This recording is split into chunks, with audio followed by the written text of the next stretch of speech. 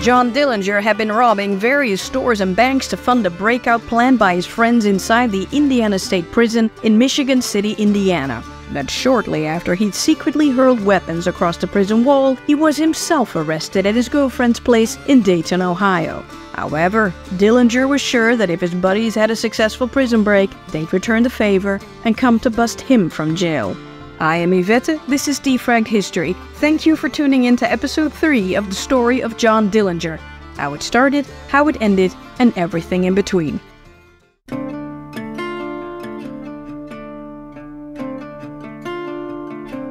At the Dayton City Jail, John Dillinger appeared cheerful and not at all concerned about his current predicament. He was only a bit bummed that he was going to miss the opening game of the World Series between the Washington Senators and the New York Giants. Chief of Detectives Inspector Seymour Yendis was like, hmm, the flamboyant Yeg's friends, whomever they were, were gonna try to break him out. Better place cops in every room of the building. News of Dillinger's arrest spread like wildfire, and investigators from Indiana and Ohio raced to Dayton. They all wanted a little chat with Johnny and brought witnesses. Each hoped to get him extradited to their states and counties to answer for crimes in their jurisdictions. Eager beaver Matt Leach, the Indiana State Police captain, and his team arrived first on Friday morning, mere hours after Dillinger's arrest. But when the captain finally came face to face with his prey, he got nothing but a mocking grin in answer to his questions. Johnny had lawyered up. Sergeant Russell Falls showed the fine gentleman from Indiana a crude drawing they had found on Johnny. It was a map, right? Of a prison layout, huh? Indiana State Prison, am I right? Leach smirked at him. You've been reading too many detective magazines. This guy ain't that big. They couldn't get out of there if they tried. Yendis was baffled at Leach's smug dismissal. So, you're just gonna ignore the recent discovery of the guns flung over the Indiana State Prison wall? Okay, pal, it's your funeral. Meanwhile, in a very clever move, Johnny turned over his legally purchased terraplane to his lawyer, Jack Egan. Police were forced to hand over the cash found with Johnny to the lawyer as well. They couldn't prove it came from the robbery. Things looked worse when ballistic tests on Dillinger's weapons matched none of the slugs recovered from the various crime scenes. Witnesses to the rescue. For the next four days, Johnny was trotted out and put in lineups, and he was identified in the robberies of New Carlisle, Bluffton, Indianapolis, and Muncie. The prosecutors had him and set the outlaw's hearing for September 30th. Ex Pinkerton detective Forrest Huntington, working on behalf of the American Surety Company, also arrived at the Dayton jail. So, where's the loot? Was the Montpelier bank robbery an inside job? He got nowhere either. Dillinger would never plead guilty to anything again. But Huntington had struck gold in a manner of speaking. On his way to Dayton, he met Arthur Art McGinnis, who had served time with Dillinger. He could give intel on the Massachusetts Avenue State Bank job in exchange for a nice reward and a share of the recovered money. Plus, he could infiltrate the gang. All right, buddy, you're on. The day following his arrest, Saturday, September 23rd, Johnny was moved from the Dayton City lockup to the Montgomery County Jail.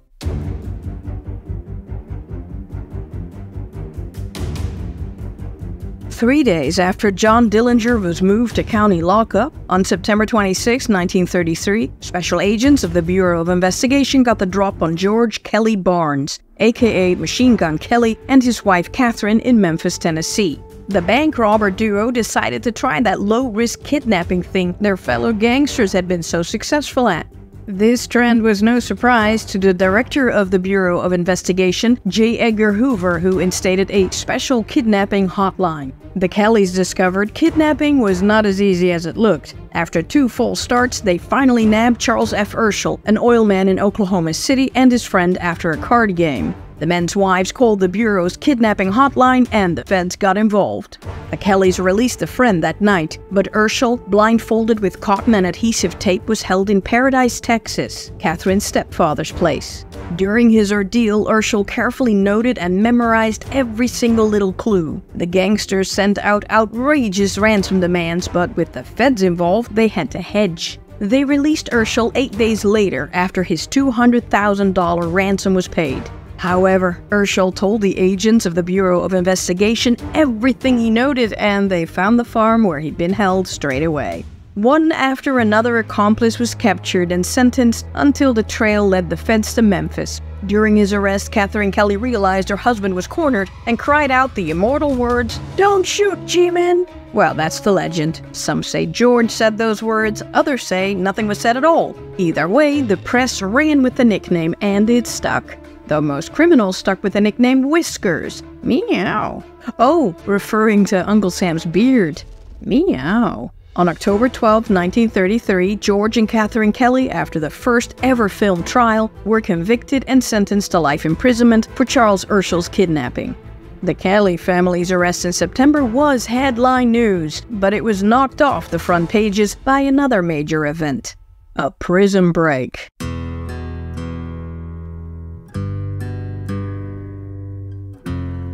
Indiana Governor Paul McNutt's administration had reformed the Indiana State Police, and the governor moved on to another headache the troublesome Indiana State Prison. As per usual, the new Democratic governor fired nearly all the Republican appointed guards, plus Warden Walter H. Daly, and replaced them with his own cronies, mostly new, inexperienced men.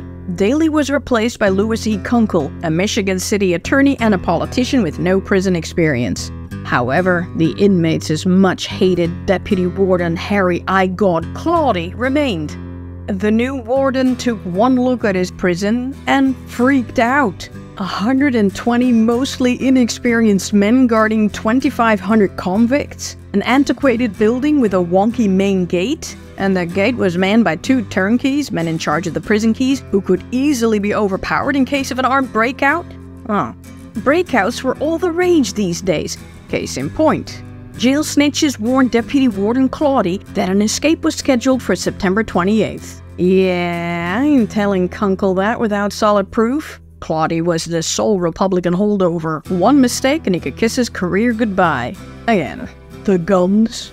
On September 25, 1933, inmates Harry Pete Pierpont, James Oklahoma Jack Clark, Fat Charles Makeley, and John Red Hamilton huddled together during the exercise period to dot the I's on their grand breakout plans. They weren't aware that their man in charge of the escape on the outside, John Dillinger, was himself behind bars. Paranoid Pete worried about the rats in the joint and that their concealed guns might be discovered, so he moved the prison break date up to September 26th.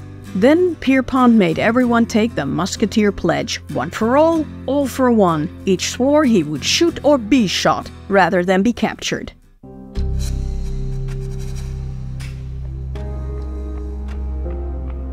On September 26, 1933, at 2 p.m., nine inmates from two different shifts asked for hospital passes. A few moments later, all nine Harry Pierpont, James Clark, Charles Makeley, John Hamilton, James Jenkins, Russell Clark, Ed Shouse, John Burns, and Joseph Fox headed for the sub basement storage room below the shirt factory to join the 10th man, Walter Dietrich.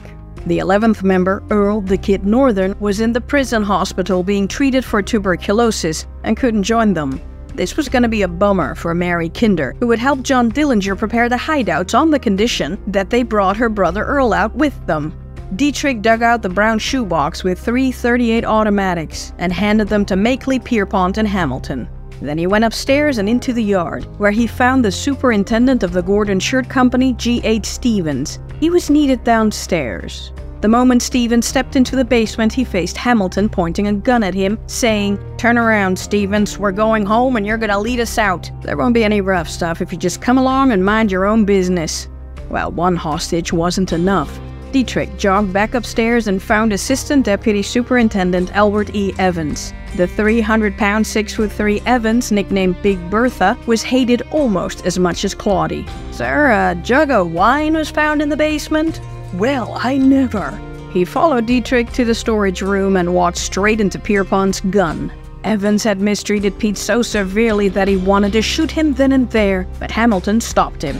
No killings. One shot and the whole penitentiary will know what's going on. We've got enough trouble ahead of us. Let us not make more for ourselves. Makeley joined in. We need 'em. They're gonna take us out, ain't you, fellas? The two hostages nodded. Pierpont cursed, but agreed to spare his tormentor's life. Every inmate who came downstairs to fetch supplies was either gagged and bound or locked up in the heating tunnel. Team Escapee trusted no one.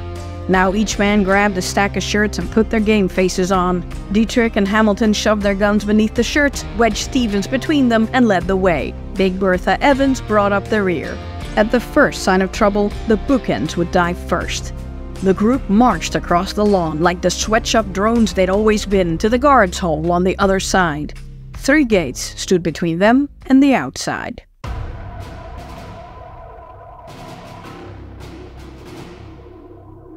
The Indiana State Prison guards standing on top of the tall gray stone walls noticed the group snaking through the yard. Stevens in front, Evans in tow. It's fine. It's totally fine.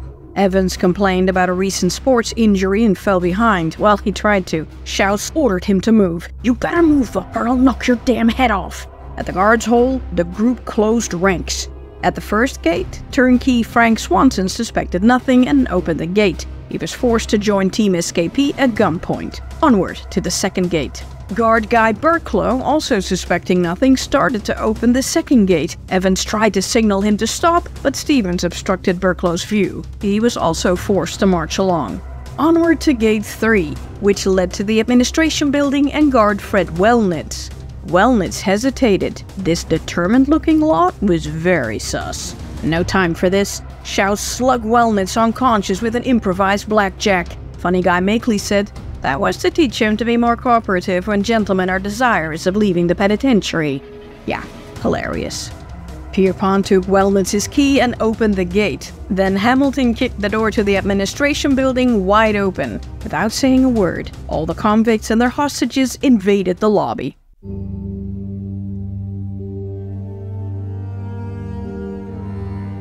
Warden Kunkel and his secretary were in the business offices left of the lobby when they heard the commotion. A clerk whispered it was a breakout, quick hide in the closet, but the warden said I'd rather be shot in the open than caught in a closet.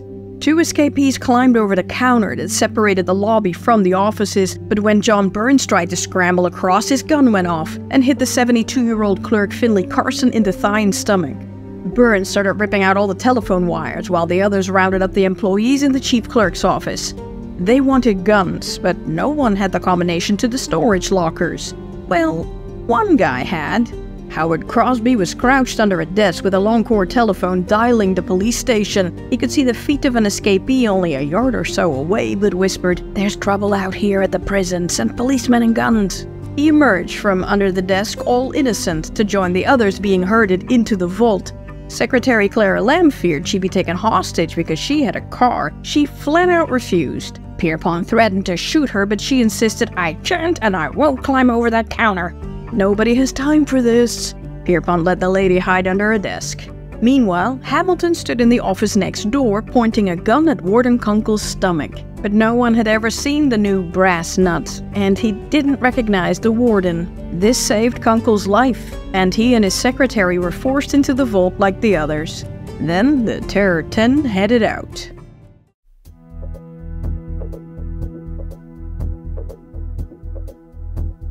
The ten convicts flooded from the unlocked door of the Indiana State Prison. They stood for a moment in the pouring rain to get their bearings. They were out. First, they needed wheels. Harrison County Sheriff Charles Neal had just dropped off a prisoner. He was headed to the Chicago World's Fair with a friend, Dr. Lee Wolf, in a brand new Chevrolet. Nice. Dietrich Burns Fox and James Clark teamed up, grabbed the sheriff, relieved him of his gun, and marched him to his car where Dr. Wolf stood waiting. The fearsome four shoved Neal face down onto the rear floorboard and piled in. Dietrich slipped behind the wheel and floored it, nearly running over Wolf. Convict Team 2, Pierpont, Hamilton, Makeley, Jenkins, Shouse, and Russell Clark dashed across the prison lawn to the Standard Oil filling station across the road. One escapee jumped on the running board of a parked car, while another waved a gun in the station manager Joseph Kowalski's face. Give us the keys to that car or I'll blow your damn brains out. The manager took off in a dead run to get away from these crazy men. He was fired at three times but lived to tell reporters later, I guess I'm pretty lucky none of those bullets hit me. One grazed my sleeve, but the other two went past my head, or else I outran them. Still needing a car, several crazy men ran back out on Dunes Highway. Herbert Van Valkenburg, an Oswego farmer, saw the armed men waving him down. Huh? Must be police. He dutifully pulled over. He shouldn't have done that. One of the escapees jumped on the running board of the Oldsmobile and ordered Van Valkenburg's wife and her 89 year old friend Minnie Schultz to get out. The six desperados got in and ordered Van Valkenburg, Drive, brother, drive. The old timer in an Olds wasn't exactly a race car driver, and 15 miles down the road, the gang booted him from the car. The farmer was later reunited with his wife and her friend. Convict cars 1 and 2 now raced south to put as many miles between them and the prison as fast as they could.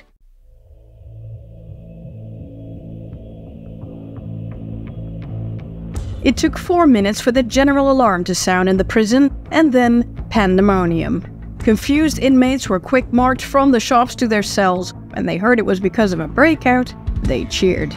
News of the prison break was broadcast far and wide, and within 30 minutes of the escape, 10 members of the Indiana State Police stationed at the Tremont Barracks raced to Michigan City with automatics and shotguns. Vigilantes, reserve forces, and even firefighters arrived. Roadblocks were thrown up, and a posse of 500 men was organized to go in pursuit. A contingent of the 19th Fleet Naval Reserve arrived to end the riot and secure the prison, but there was nothing to secure. Except for the 10 bad eggs on the loose, everything was a-okay. Two miles from the prison, Walter Dietrich, driving convict car 1, turned off the highway onto a gravel lane, a dead end. Rats! Dietrich tried to make a U-turn, but got the Chevy stuck in the mud. Double rats.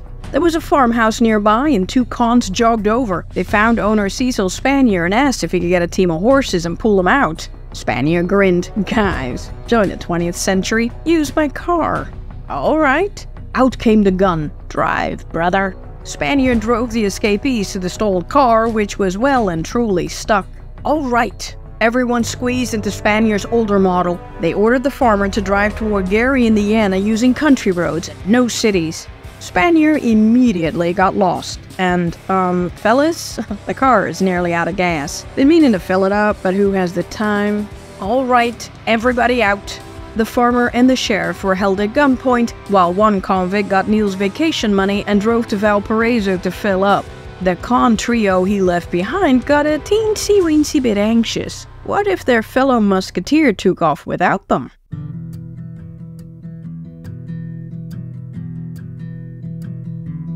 Convict Car 2 with Pierpont and Company pulled up to a general store in Burdick to fill their tank. They paid the bill but didn't wait for change.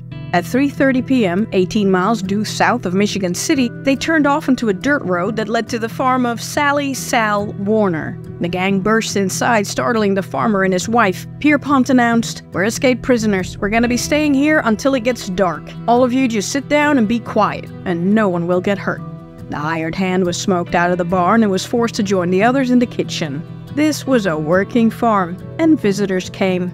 First, a relative, William Warner, dropped by with his wife and four year old daughter into the kitchen. They checked his car, but it couldn't exceed 60 miles an hour. Never mind. Second, a poultry dealer arrived and was promptly shoved into the kitchen. Then, at 4 p.m., the three Warner children came home from school. They totally freaked out at the sight of the gunman, and Mrs. Warner was brought out to calm the terrified kids.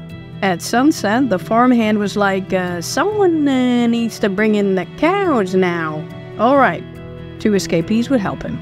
Shortly after dark, Pierpont and crew left as promised, but not before grabbing some of Mr. Warner's clothes, a pair of shoes, a shotgun, and Warner's car keys. They switched license plates with Williams' car and busted its gas line. After he confirmed the farm didn't have a phone, Pierpont instructed, Stay in the house for 15 minutes after we've left, and you tell the prison men when you see them that we're not going back. After five minutes, William was like, Nuts to that, and he walked to his home to call the local sheriff.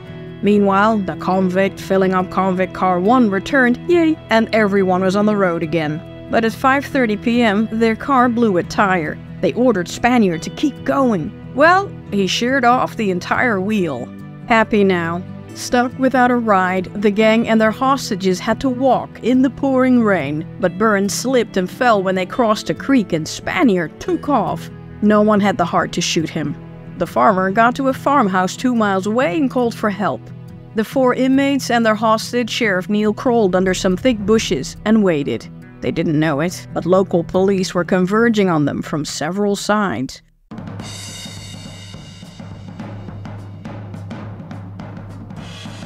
By 9 p.m., everyone's favorite Indiana State Police Captain, Matt Leach, personally joined the escapee hunt.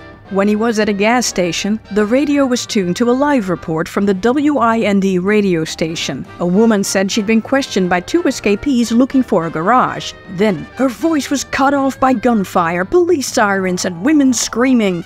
The announcer dramatically gave a blow by blow account. Here we are, folks, right on the scene of a gigantic manhunt. The troops are lined up all around here. There go more squads through that field of death, right on the trail of the felons. Do those boys ever falter? No siree. Listen closely now, folks, and you can hear the shots as deadly patter of lead is rained all about. Oh boy, is this exciting! What a battle! Leach hustled a handful of officers and raced to the scene, only to find a radio director, actors, and some police officers shooting their guns in the air. Everyone was fine. They were just live streaming a little radio play, you know, for the ratings. Leach cursed the radio director to hell and back and had him arrested. Then he got back into his patrol car and sped off. Eventually, Leach had to let the director go. There was no law against what he'd done.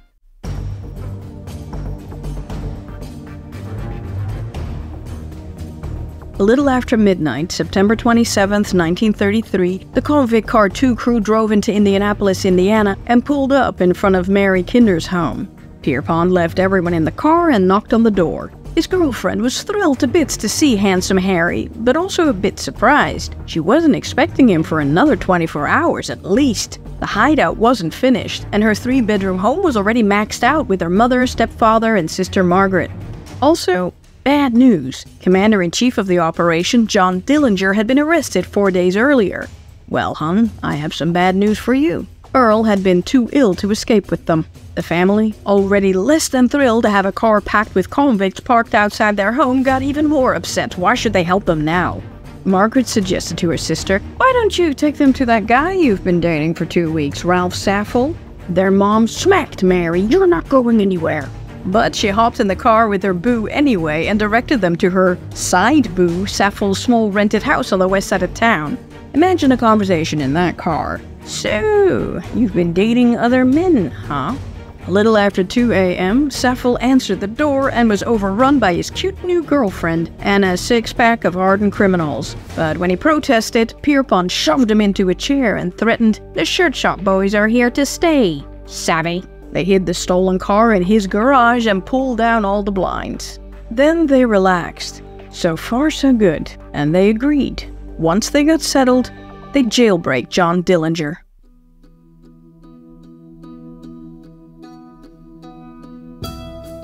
Ralph Saffel woke the next day to find that the nightmare he thought he'd been having was very real. When he and Mary went out to get some groceries to fix breakfast for the six convicts camped out in his living room, another ex-con knocked on the door, Harry Copeland. The safe house in Hamilton, Ohio wasn't ready yet, but Copeland had found another temporary refuge in town. A little later, Kokomo Madam Pearl Elliott dropped by with some of Dillinger's money. Saffel and Mary were sent out to buy the men's suits. Pearl also passed on John Dillinger's unusual request to pick up 25 year old Mary Evelyn Billy Frechette. Apparently, he'd given up on Mary Longnaker and already had a new girl waiting in the wings. He wanted her ready and waiting for him when they got him out. Now, to be fair, Mary Longnaker had also hooked up with another guy during Dillinger's prolonged absence while he was prepping the prison break. She hadn't told him because she feared her brother James Jenkins might be bumped from the escapee list. Billy had a French father and a half French, half Indian Menominee mother, and was raised at the Menominee Indian Reservation at Neopit, Wisconsin.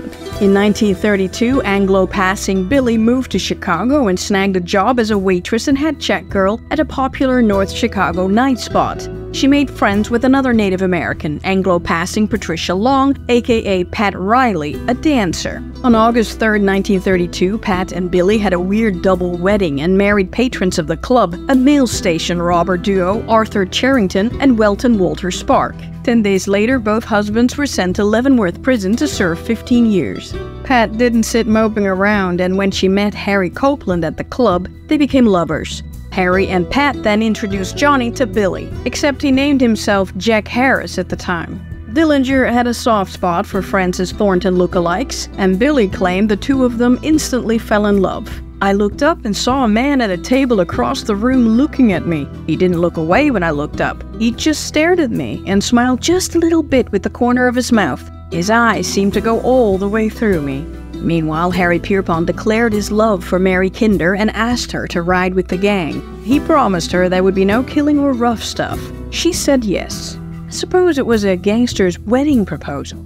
How romantic. The gang left Saffel's house after sunset. Someone tossed a $10 bill on the floor to cover rent and promised him $1,000 if he kept his mouth shut.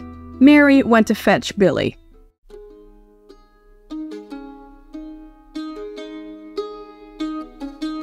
John Dillinger, languishing in his cell on the second floor of the Montgomery County Jail, was deliberately not told about the successful Indiana State Prison breakout. He might never confess. All visitors and reporters were banned, and he was only allowed out of his cell for witness lineups. But the sudden bout of incommunicado must have given Dillinger some pause. All the more since they got Johnny's hearing moved up three days to September 27th, the day after the breakout. Captain Matt Leach dramatically warned reporters that John Dillinger had orchestrated the Terror 10's escape and that the men would free their boss next. The reporter snickered. Poor little Leach with his Dillinger fixation. Inspector Yendis also talked to newspapers with his version of events, and the Dillinger story became a mess we're still trying to untangle today. All the while, Indiana State Police fought all the other departments tooth and nail to drag Dillinger's butt back to Indiana State Prison. However, Leach and Yendis got into a fight over the map Pfauhl had shown and Leach had dismissed. The dispute delayed Dillinger's swift extradition.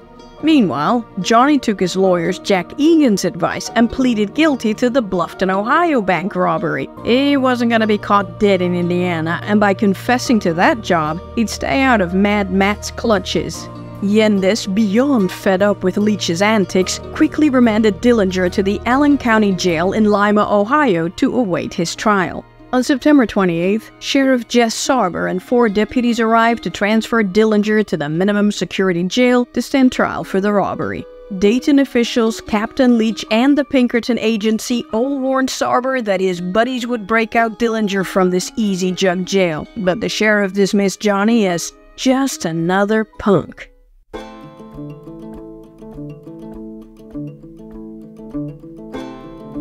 While Johnny Dillinger enjoyed the hospitality of Sheriff Sarber and his wife's excellent home cooking in the Lima, Ohio jail, the four convict car one now on foot escapees and their hostage were starving by the time they reached McCool Airfield near Gary, Indiana. They ate green corn and unripe tomatoes. These did not sit well with James Clark, who had stomach ulcers. In no time, he was doubled over in pain. The fearsome foursome debated what to do. They considered ditching Sheriff Neal in less than savory ways, but James Clark said they should go on without him and leave Neal with him. Around 3 a.m., the group split up near Hobart. The sheriff had to tell the authorities that the trio had taken off in a car, not on foot. If he didn't, one threatened, they'd show up at his home in Corydon and then slaughter his family. Clark and the sheriff hid in a corn shock at a farm but were chased off by an angry farmer's wife in the morning. They reached Hobart where Neal bought Clark breakfast and handed him his coat. This is classic Stockholm Syndrome, right there. Afterward, the two rode the interurban to Gary, where Clark allowed Neal to get off. However, if the sheriff talked, that morning, Captain Leach had just finished lamenting to the press that the sheriff was dead when Neal called his deputy in Corydon from a bus station. After Neal received a hero's welcome with much fanfare and a press photo shoot, Leach brought the sheriff in for questioning and treated him like a conspirator. The sheriff, fearing the convicts would carry out their threats, spun the made up story. But his story fell apart when that evening James Clark was arrested. A cab driver recognized him from the papers and warned the police. He got a one way ticket back to Michigan City. Clark said, You might as well be dead now because I won't last in that hole. Captain Leach huffed and puffed and wanted to charge this stressed elderly sheriff with neglect of duty. He slandered Neal to the press, but nothing happened. Neal canceled his trip to the World's Fair, but recovered enough from his ordeal to go the following summer. Walter Dietrich, John Burns, and Joseph Fox scattered about the country, they were safe. For now.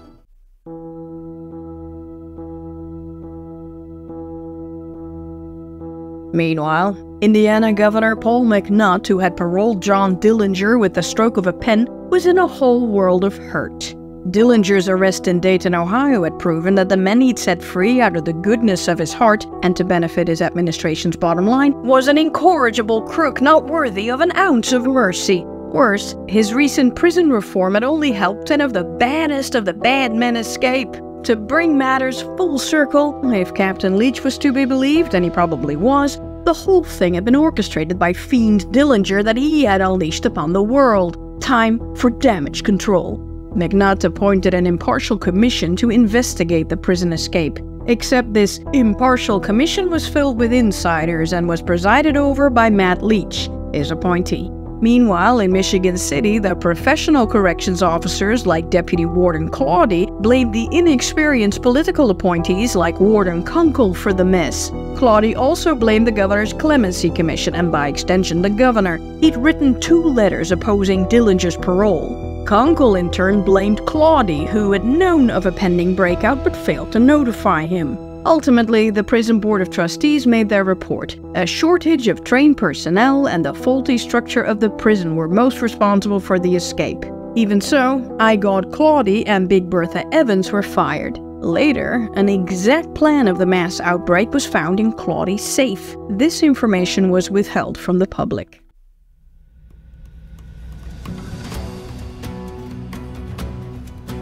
On September 28, 1933, Pierpont and his convict Car 2 crew were told that the hideout in Hamilton, Ohio was finally ready. That night, they left Van Volkenberg's Oldsmobile on an old logging road in the Hoosier National Forest and got into another stolen car. They shouldn't have done that. They were seen. The witnesses told police that the second car was headed east towards Seymour.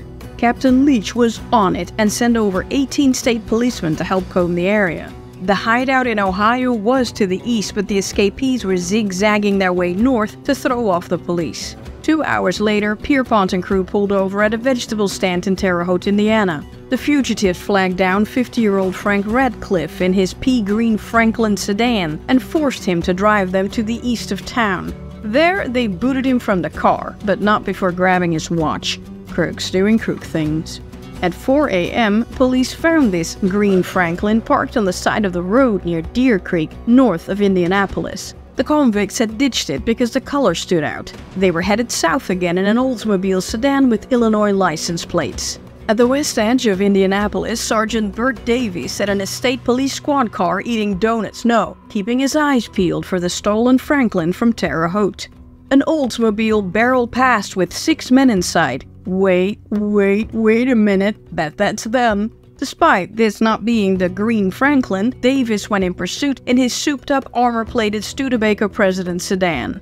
Davis, with red lights flashing and siren blaring, gained on the Olds driving over 80 miles an hour. A machine gun poked out from the back window. Yep, that's them all right. Well, no time like the present to test the Studebaker's newly installed bulletproof glass. But Pierpont suddenly slammed on the brakes and deftly swerved the nimble olds onto High School Road. The heavy Studebaker had to veer around them to avoid a collision, but the olds turned too sharply and hit a pole. The rear door flew open, throwing James Jenkins, Mary Longnaker's brother, from the car. Jenkins rolled to his feet and limped away. A local saw what happened, pulled his revolver, and shot at Jimmy. He missed. The Kirks and the Olds heard the shot and hightailed it out of there. Later is Jenkins. By the time the state police car turned, everyone was already gone. Pierpont and crew stole another car and finally reached the Hamilton, Ohio hideout, a fishing camp.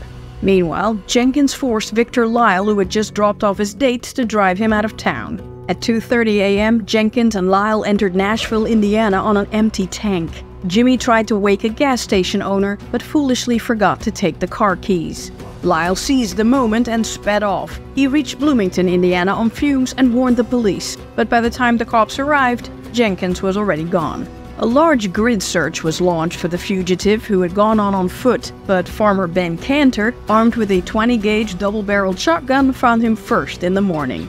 His kids had warned him about a wild-eyed weirdo with a gun outside, and Ben had gone out to make sure no one got hurt. What do you say, buddy? Come inside for a nice cup of joe. Jenkins took one look at the shotgun and was like, no, thank you. He turned to walk away, only to find his escape route blocked by grocer Herb McDonald in his Model A Ford. He had also heard about the wild eyed weirdo and, aware of the recent breakout, wanted a word. When McDonald got out of the car brandishing a shotgun, Jenkins shouted, Don't get out! Then shot McDonald in the right shoulder. Jenkins swung around to shoot Ben Cantor, still standing behind him. He missed. Cantor was like, okay, pal, and raised the 20 gauge so fast the barrel struck Jenkins' head. He fired, but also missed. His second and last shot didn't. Jimmy was hit in the head and collapsed. James Jenkins died a little later in the doctor's office in Nashville. Two down, eight to go.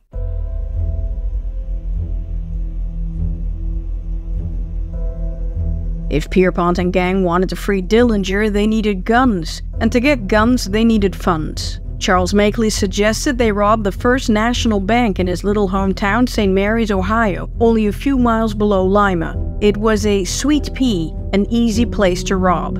On October 3, 1933, the gang piled into two cars Dillinger's black Terraplane 8 retrieved from his attorney, and Harry Copeland's new Oldsmobile. However, at the last minute, Copeland claimed he was too sick to go along. So Pete asked his girl, Mary Kinder, to drive the second car for an equal share. She agreed. St. Mary's chief of police, Gilbert Gershner, received a mysterious phone call saying that Makeley, an old schoolmate, was in town. Gershner checked Makeley's old haunts, found nothing, and returned to the station. At 2.40 p.m., Makeley, Pierpont, and Russell Clark entered the First National Bank. John Hamilton and Ed Shouse stood watch outside. They noticed a crowd gathered around a radio outside a pool room across the street. Ha, no problem. They were too absorbed by the opening game of the World Series between the New York Giants and the Washington Senators to notice anything. The gang wasn't aware that the Treasury Department had closed the bank. It was only open so local merchants could make change. However, there would be a grand reopening in a few weeks, and a large chunk of cash had just arrived from the mint. Makeley stayed near the door, Clark hung back, and Pierpont walked up to the teller's window with an open road map. When the teller asked what he wanted, Pete lowered the map to reveal a revolver. Makeley was startled when a cashier, an old school friend, walked through the door. The man didn't recognize the gangster who sternly ordered him to get to the rear. After the robbers fled with two money bags, the employees turned on the alarm. But Chief Gerstner, only a block away, didn't hear it, nor did the sports fans across the street. Oh, spoilers New York Giants 4, Washington Senators 2. The gang's take was a nice $15,000. However, they were all brand new bills, and spending these would raise suspicions. So, Kinder baked and ironed the bills several times to make them look worn. The First National Bank of St. Mary's never reopened.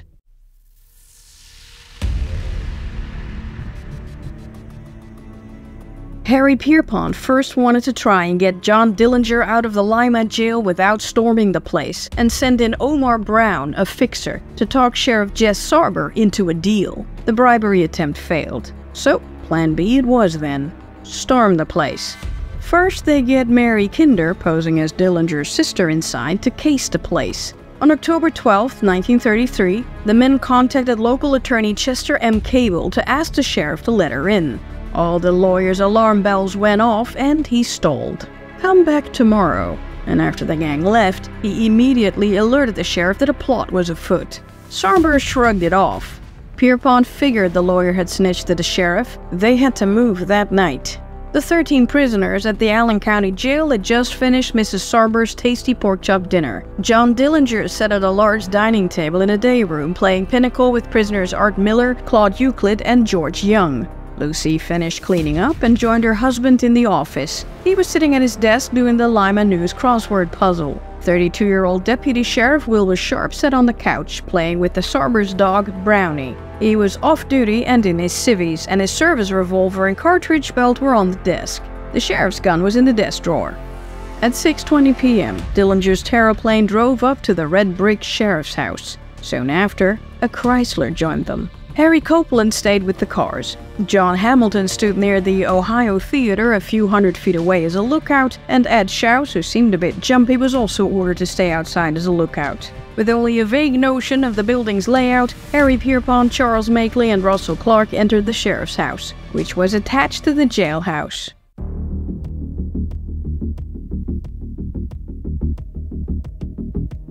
Sheriff Jess Sarber, still doing the crossword puzzle, noticed three gentlemen enter his office. Hello. We're officers from Indiana. We've come to take John Dillinger back to Michigan City. Plausible. Sarber knew Ohio and Indiana were fighting over, um, negotiating Dillinger's custody.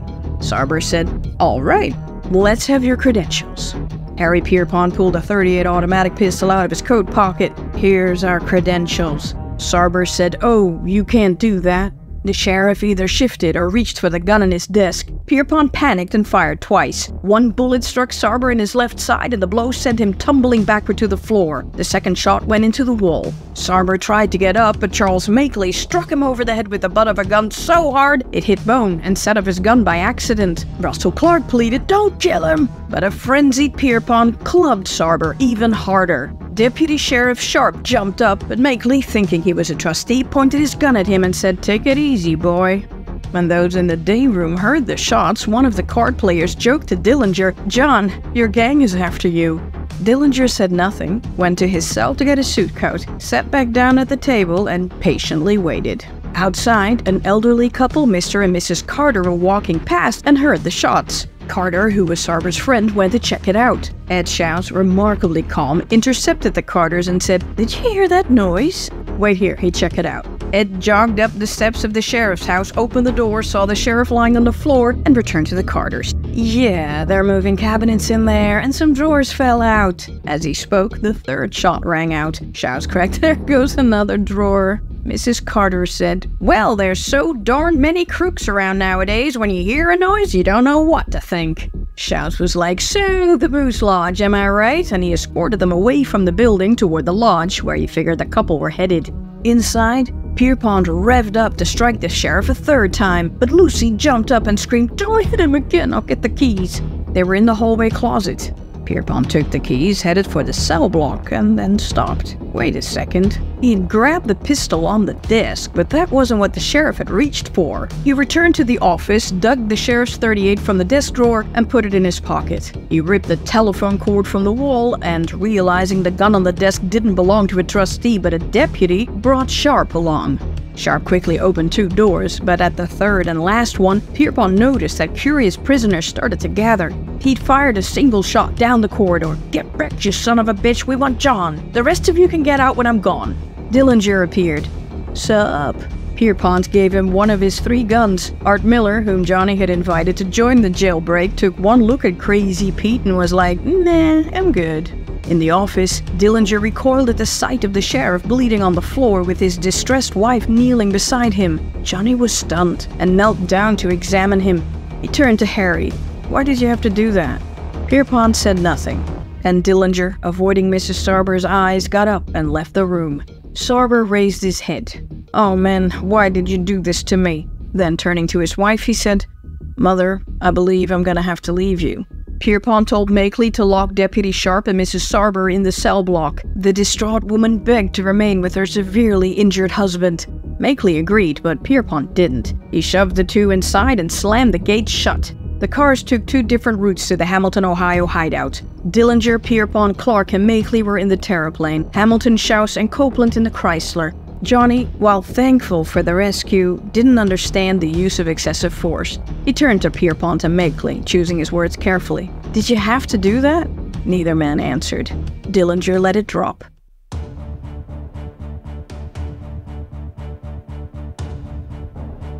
Minutes after the breakout, Deputy Sheriff Don Sarber, the sheriff's son, returned home from getting tickets to a football game. He surveyed the scene. What the?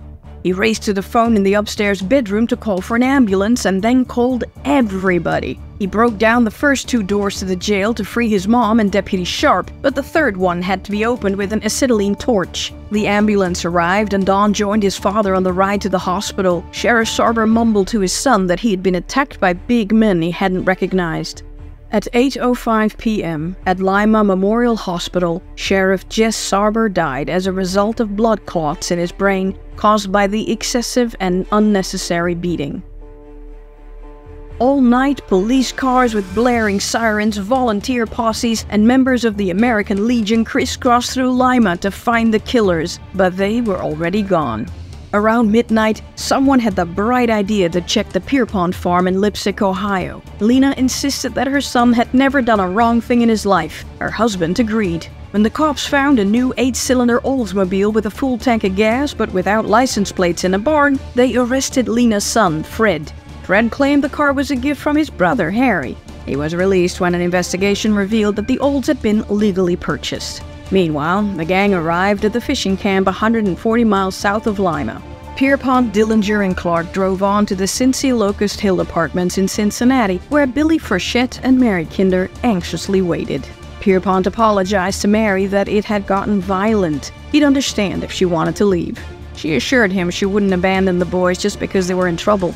Johnny and Billy's reunion was passionate and loud, if you know what I mean.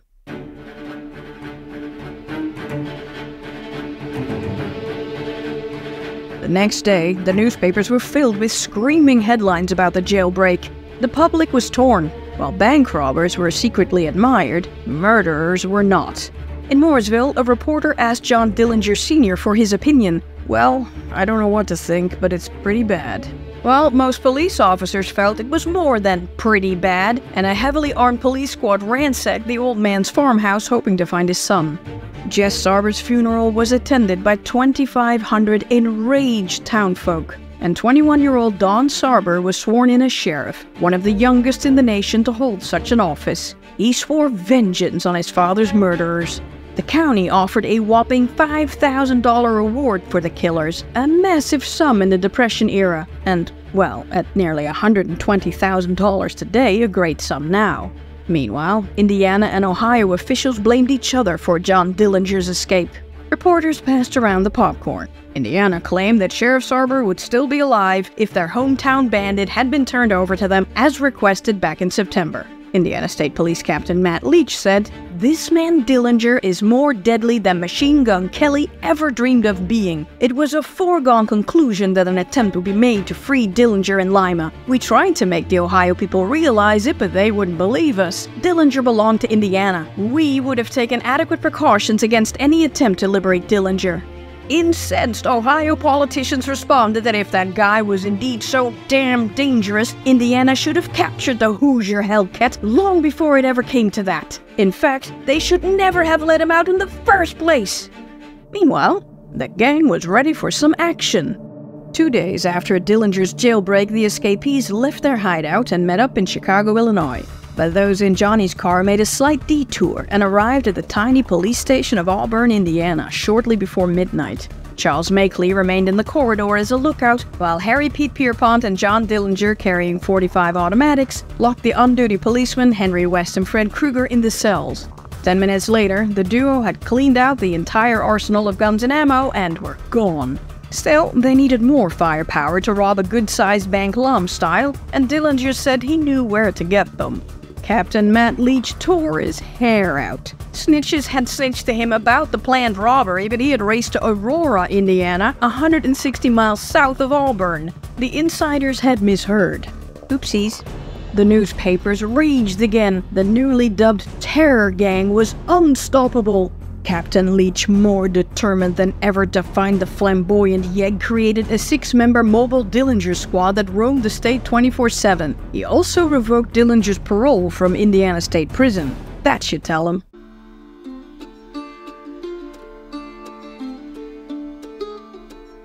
Six days after the Auburn police station heist at 11 p.m. on October 20th, 1933, two cops, a security guard, and a night shift cook walked into a bar. No, were in the police station on the ground floor of City Hall in Peru, Indiana. In came Harry Pierpont with a machine gun and John Dillinger with a pistol. They hadn't brought a wheelman or lookout this time. Pierpont, playing up his scary new rep, shouted, I haven't killed anybody for a week now. I'd just as soon shoot one of you as not. Go ahead and get funny. Dillinger busted open the locked glass case and took out a machine gun, several bulletproof vests, and two sawed off shotguns. He wrapped them in a blanket, carried them outside to a parked car, and returned for another heavy load. Johnny saw a locked door. What's behind it? Confiscated liquor. Well, forget it then, I don't drink. And with that, the duo vanished. The day after the raid on the Peru police station, the gang relocated to Terre Haute in a hideout arranged by underworld Madame Pearl Elliott. The terror gang was planning the first major robbery at one of Pierpont's old stomping grounds, a bank in Greencastle, Indiana. On October 23rd, the prosecuting attorney of Allen County, Ernest M. Bodkin, secretly filed warrants against Dillinger, Pierpont, Copeland, Makeley, Shouse, Hamilton, and Clark.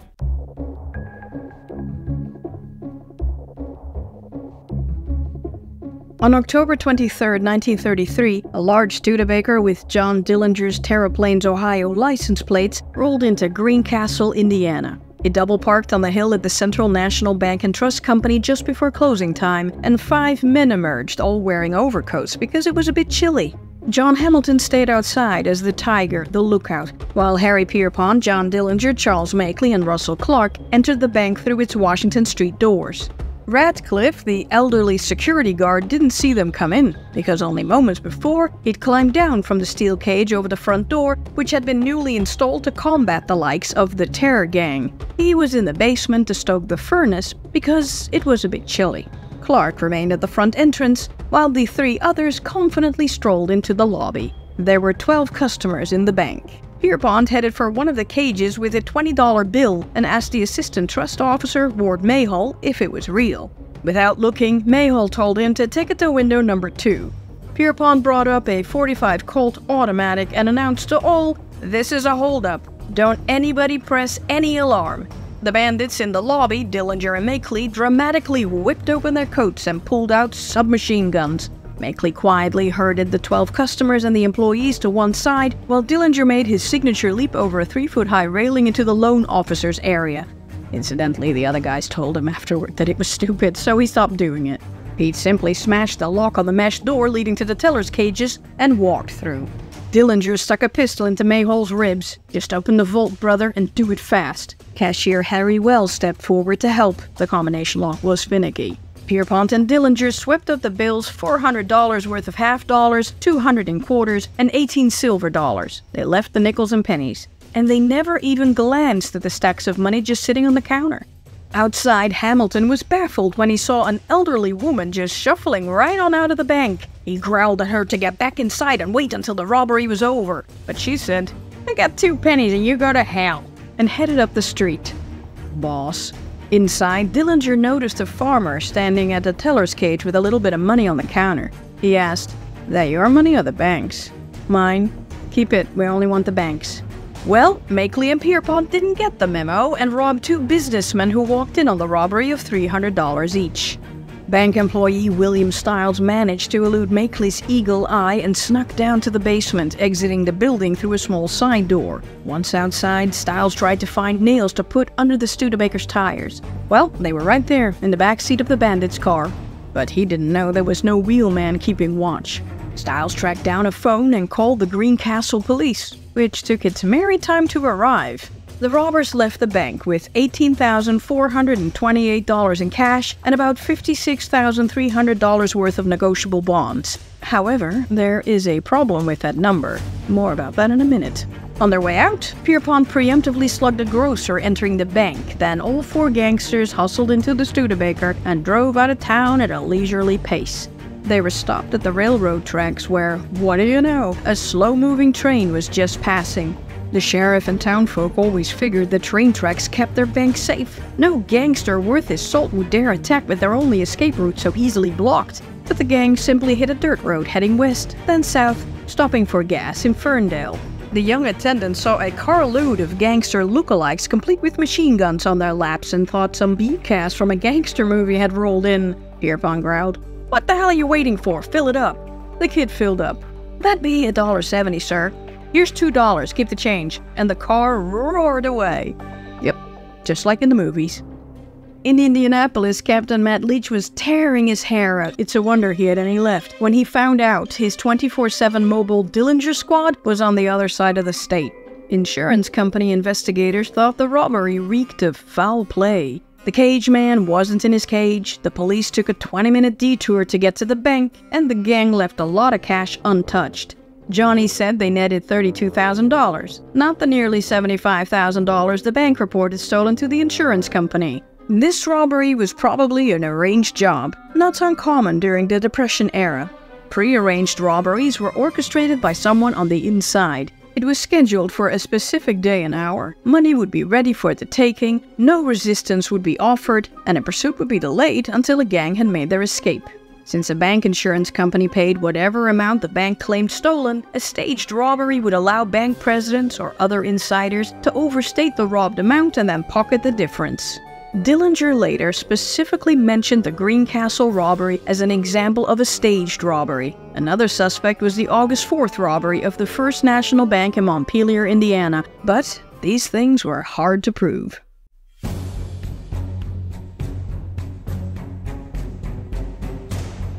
The day after the Greencastle job, three gunmen relieved the Western State Bank of South Bend, Indiana of $5,000. Everybody screamed terror gang until all nine non terror gang members of a sloppy gang were arrested in Peoria, Illinois. On October 25th, there were stick ups in Fillmore and Modoc, but the terror gang wouldn't have come out to play for the takes of 130 and $400 respectively. Captain Matt Leach became increasingly paranoid about a wave of Dillinger copycats. But what was he complaining about? With each robbery, the Indiana state legislature increased police funding, giving Leach everything he wanted. His troopers got all the beefed up cars, submachine guns, and steel vests they requested. Alas, no radio cars though. The entire Indianapolis police force was issued a second gun and got cash to customize a cruiser into a machine gun equipped armor plated fighting machine. Indiana gradually became a fort, a law was passed that allowed all Indiana sheriffs to deputize anyone willing to arm themselves against the terror gang. All it ended up doing was creating random and ineffective roadblocks that the gang members proudly passed every time, no problemo. Indiana State Prison Warden Louis Kunkel got cash to form an elite 15 member guard armed with Tommy guns, an early model SWAT team.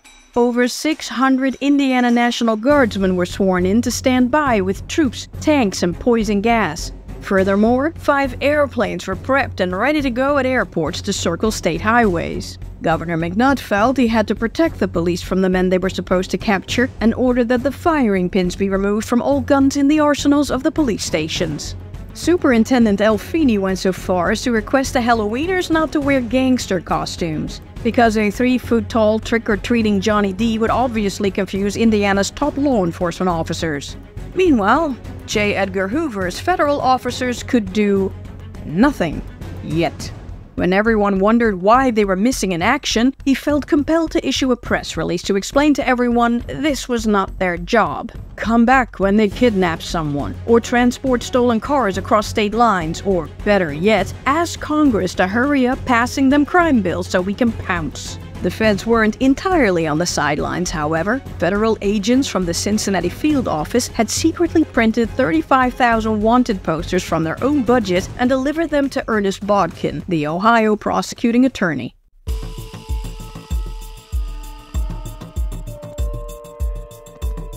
Indiana State Police Captain Matt Leach, though happy for the cash flow, knew no amount of guns, cars, or fortifications would stop the likes of Pete Pierpont and his merry terror men.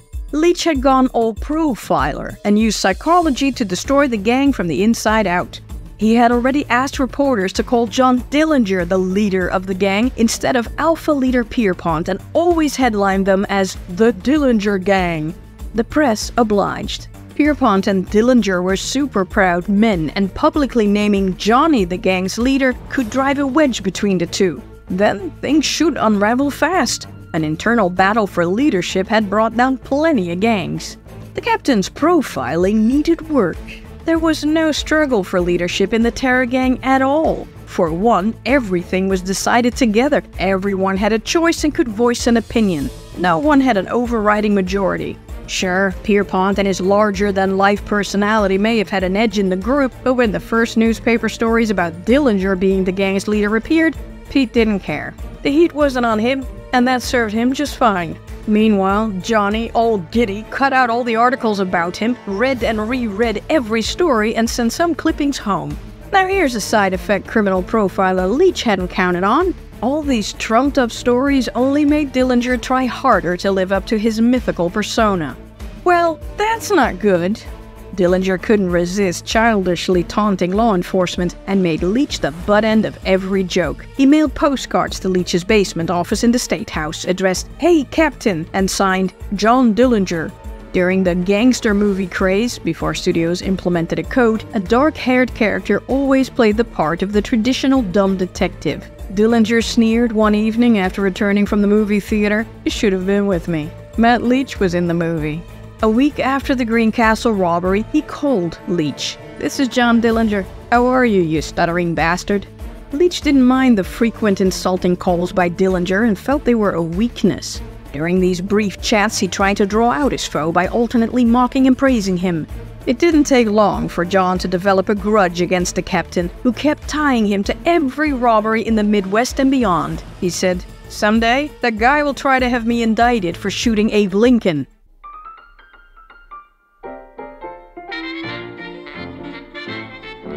After the Greencastle job, the gang settled down in Chicago, which in underworld terms meant they rented apartments with the girls or moles to live ordinary lives. John Dillinger and Billie Frechette moved into Flat 311 of the Parkside Avenue apartments, and Harry Pierpont and Mary Kinder moved in next door in Unit 312. Everyone else was scattered around the city's north side. Russell Clark had reunited with his common law wife, Opal Long, sister of Pat Cherrington, who had exchanged Harry Copeland for John Hamilton. Often, Charles Makeley and Ed Shouse resided with them. Shouse didn't have a regular mole, so he flirted with Dillinger's girl, Billie. Dude. Dude.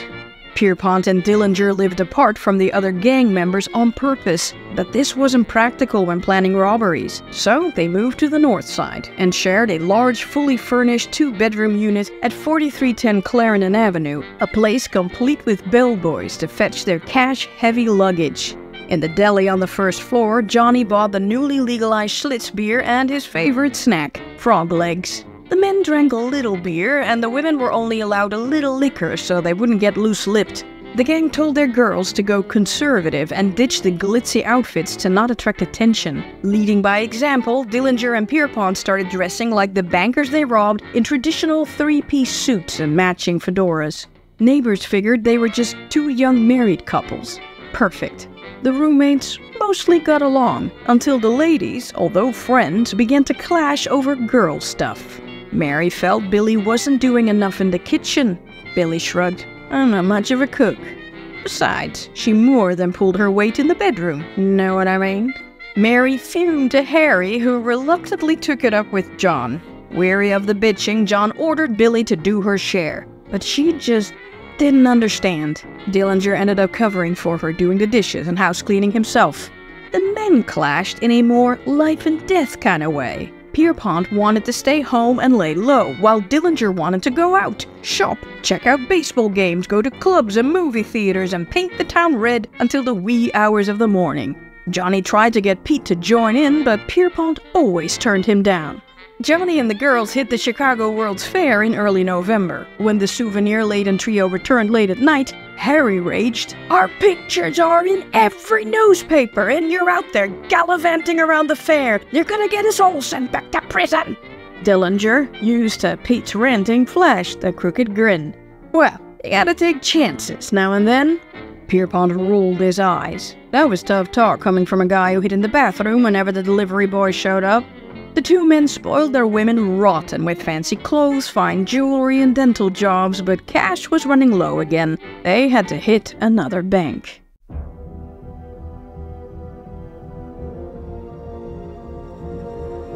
On November 3, 1933, in Lima, Ohio, Harry Pierpont, John Hamilton, Harry Copeland, Ed Shouse, and John Burns were indicted for Sheriff Jess Sarber's murder. Burns was like, What did I do? Because accessory laws were muddy, the prosecutors didn't indict John Dillinger. Well, the indicted gangsters knew there was no going back now. The electric chair was waiting, so they weren't going to be captured alive. The Terror Gang considered Homer Van Meter's ambitious plan of teaming up with Babyface Nelson's crew and the Touhy Gang for a big train robbery in Terre Haute, Indiana. But Dillinger and Pierpont objected. They didn't know these men who had no loyalty to them. Who's to say that if things went south, these guys wouldn't sell them, the bigger fish in the gangster pond, out? They should stick with their associates' plans and territories.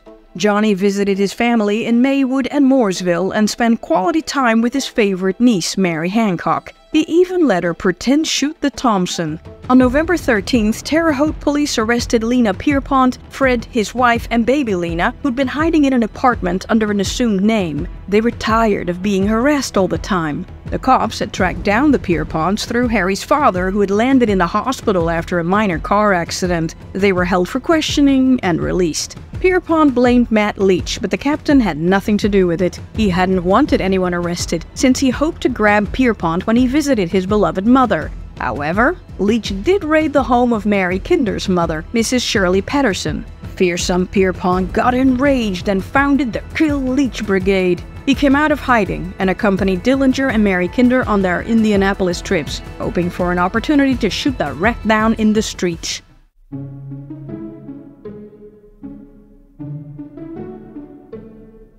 Insurance company detective Forrest Huntington's pet snitch, Art McGinnis, was the closest thing anyone had to a mole inside the terror gang. Art kept delivering actionable tidbit after tip after lead, but law enforcement had yet to bank on a single one.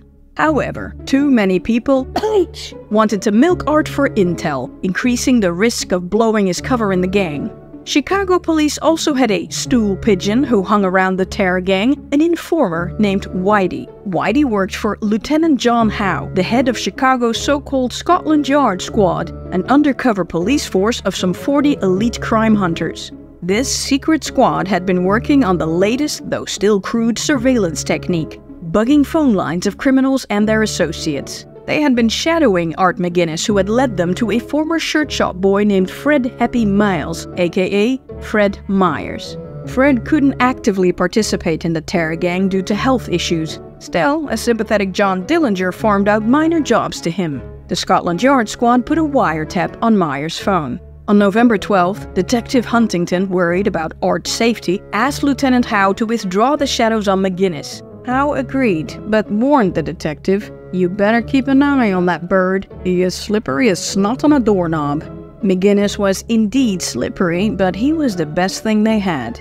Speaking of slippery snots, John Dillinger visited Happy Myers to fence eight World War I thousand dollar Liberty loan bonds and slipped right by the secret squad. Harry Pierpont was in Milwaukee trying to do the same with 56 more, all from the Greencastle job, and slipped right by the squad.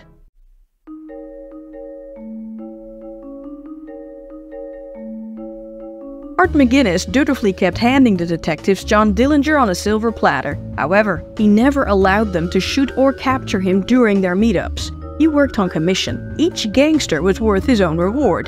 Dillinger, Pierpont, and Copeland $1,000 each, and other gang members $500 each. Just capturing Johnny wasn't worth it. They should just trail him to their lair and bring them all in. Coaching! Chicago Police Lieutenant Howe was unhappy with these conditions. Dillinger obsessed Captain Leach was decidedly more unhappy. But insurance company employee Detective Huntington was fine with it. He was after the loot and had no use for an empty-handed gang leader. You wanted to tail Dillinger to the hideouts and whatever was left of the cash, and also get evidence that some bank robberies were inside jobs.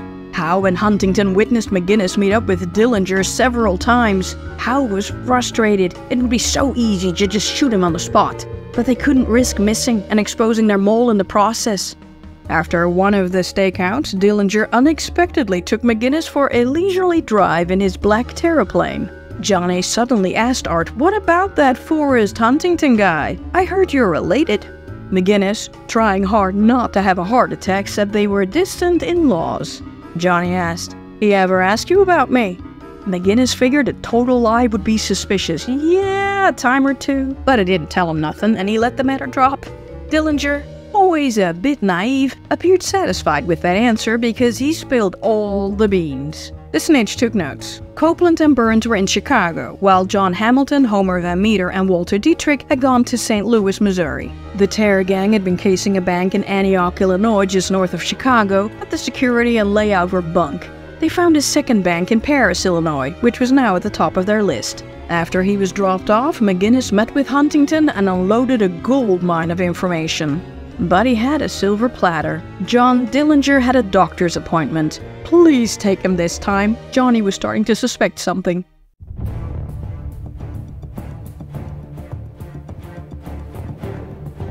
John Dillinger suffered from folliculitis, a chronic inflammation of the beard hair follicles, also known as barber's itch. He asked Arthur McGinnis to recommend an underworld physician, a doctor who wouldn't rat him out. McGinnis recommended Dr. Charles H. Eye., a dermatologist who had a practice on the second floor at 4175 Irving Park Boulevard in Chicago, a block from Happy Meyer's house.